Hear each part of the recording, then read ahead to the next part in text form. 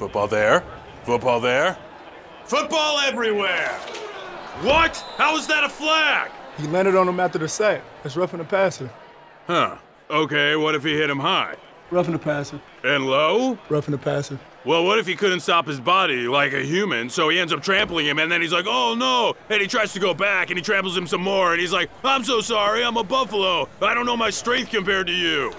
Wait, what? Come on, ref! Let the boys play!